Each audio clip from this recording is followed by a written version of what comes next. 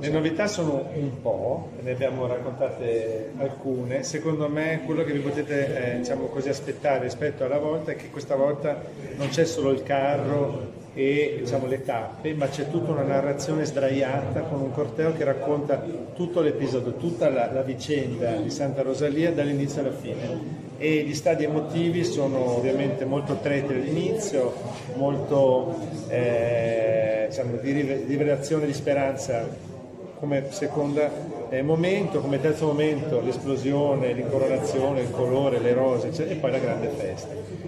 E poi c'è anche una, eh, una sorpresa eh, a metà che secondo me avrà un grandissimo impatto emotivo sulle persone.